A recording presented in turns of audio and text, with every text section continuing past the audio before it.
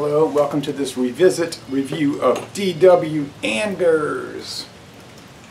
Um, okay, this is a VSOP brandy produced by the Sazerac Company. It says on the bottle, the Founders Company, Louisville, Kentucky.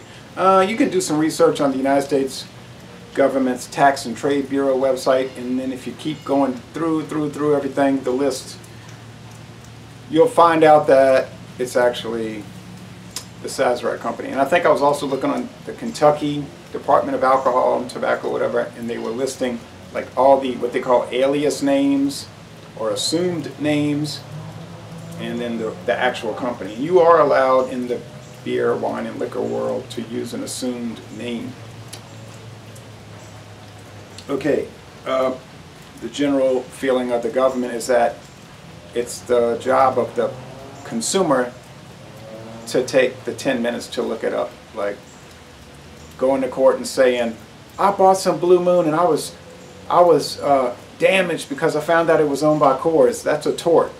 The court system is saying, uh, nah, you could have easily looked that up. Just get lost. Okay, uh, so anyway, it's produced for Safeway supermarkets and Albertsons. I don't know if there's an Albertsons in your area. We have them in parts of Louisiana. Uh, no longer in the New Orleans area. There was one in New Orleans that didn't make it, but there's many in other parts of the state. Safeway is even more common. They're owners. They are the owners of Albertsons. And just like with Winn-Dixie, Buy Low, Walmart, of course.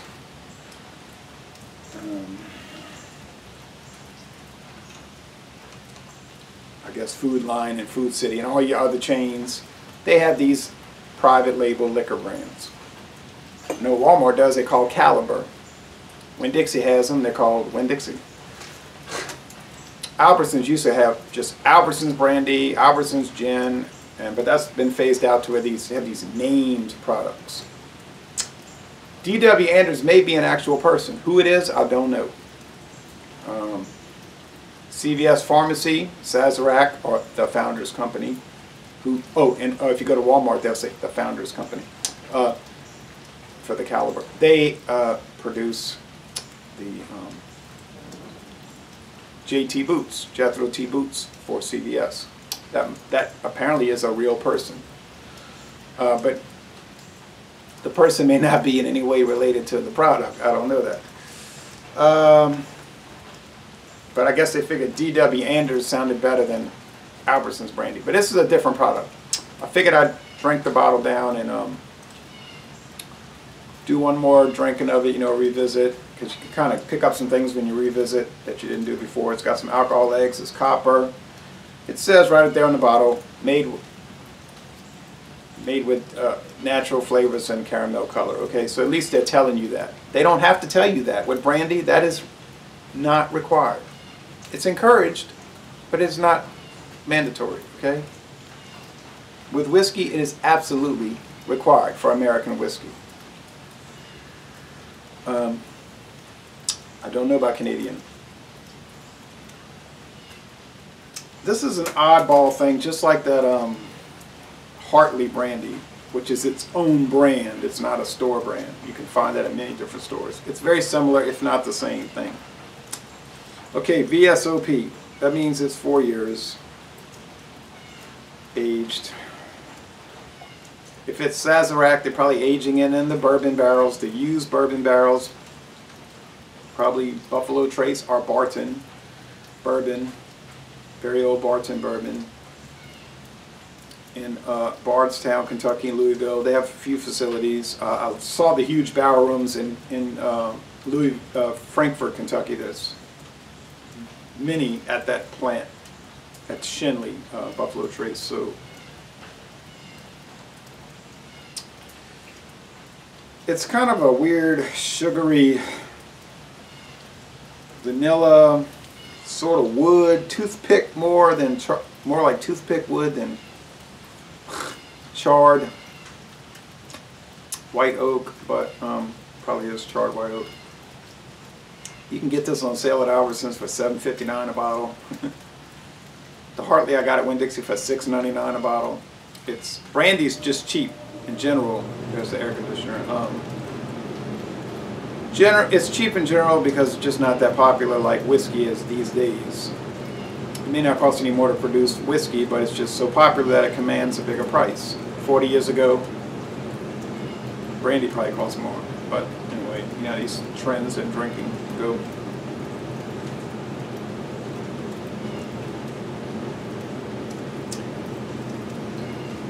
I noticed the same thing with the Hartley. It has a, a strange pepper taste.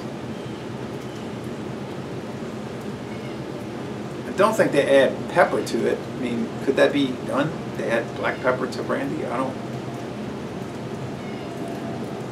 You might say, ah, it's just rye. They're adding rye, but I don't know. Just something different that makes me think it's not rye. And I don't know how to pin these things down very well. You might notice in my beer, wine, and liquor reviews that I have a hard time describing these drinks. Uh, you know, because I'm thinking what I'm tasting and smelling, but I can't describe it so well. Now I'll read some reviews on Rate Beer and Beer Advocate, and they're this long, a paragraph, and they're saying plum, nutmeg, they go on and on. It might be 200 words of different descriptors. Nougat, nutmeg, uh, pomegranate, pumpernickel bread, and all this, and I'm thinking, I just drank that beer and smelled it and tasted it. It didn't have all those 200 uh, things. How could it be all that? This has a strange vegetable taste, like celery. Celery.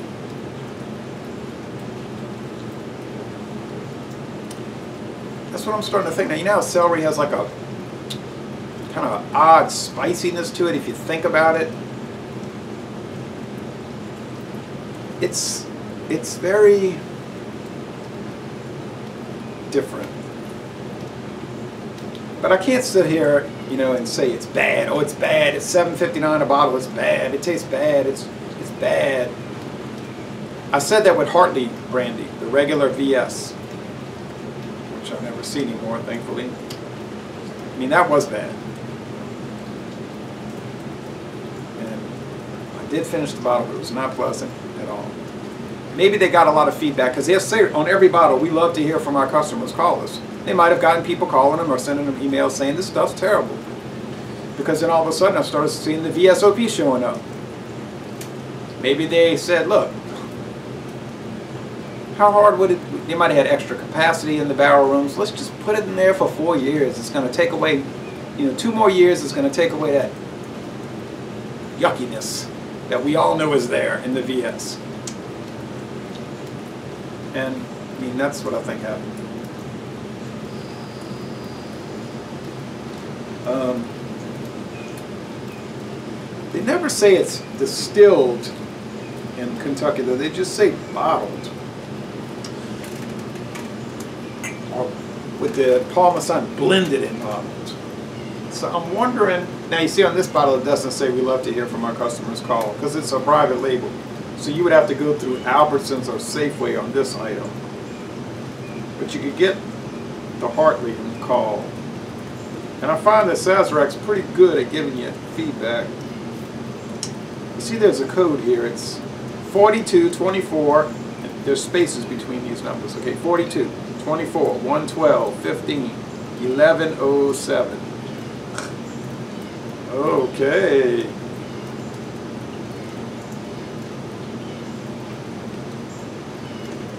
And uh, that's it. I mean, it's a mystery.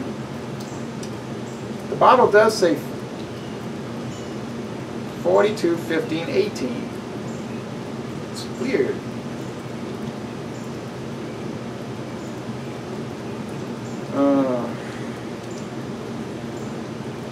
Nice looking bottle though, really. It's kind of plain. But not terrible. Um,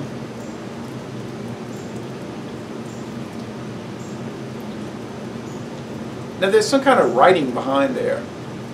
DW and reflect on the shared moment, choose the subtle essence of this exquisite brandy and savor the difference.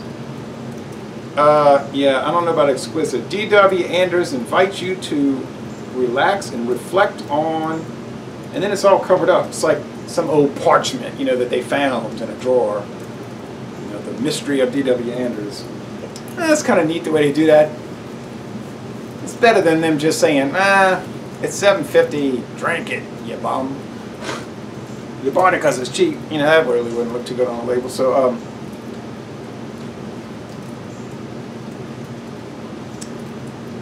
same thing, medium bodied, kind of a measured finish, like not lingering, not quick, too quick of a drop off, kind of typical. I mean, I guess Sazerac is such a huge company. They do all the Buffalo Trace and the Pappy Van Winkle, and they got a name for themselves, and they got all this capacity. So Walmart, Dixie, Albertsons, Safeway, probably a whole bunch of other people just contract with them and say, look, we want something that's okay. We don't want to hear a bunch of complaints from the customers. We want something serviceable, okay, for our budget store brand line.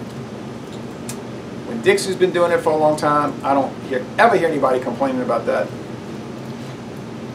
That's horrible. I mean, they're just buying it for a Mardi Gras parade or Christmas party or uh, some kind of other party, a wedding and they're not doing this videos.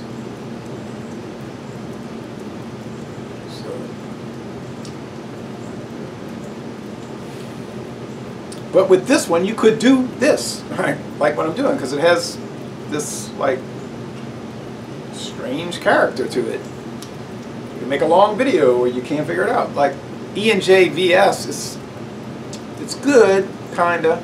You know, it's like so simple though that you can't really say too much about it. You just say, oh yeah, it's standard, like it's functional, serviceable. Whereas this one is a little bit strange. I don't know what the thinking was behind it is what I'm trying to say. It's, uh, you would think if it was just a private label brand, it would just be extremely standard like the old Albertsons brandy that I had, which I had no complaints about, especially since it was $4.99 a bottle on a closeout. But um, I find it odd that it would have, they would do something like this that's sort of exotic. And I don't mean exemplary, like it's elevated. It just, it's exotic. It's peculiar, odd, strange, weird, unusual. Um, I rarely get any feedback on this. I don't think there's a whole lot of YouTube video reviewing interest in brandy, much more in whiskey. So, you know, I, I do these videos and people like, eh, I don't really watch them too much. But um, if you ever do try this, I'd be curious to see what you think about it. Oh well. That's the last I'll ever make a, I can't conceive of ever making a future video about D.W. Anders. Thanks for watching this video production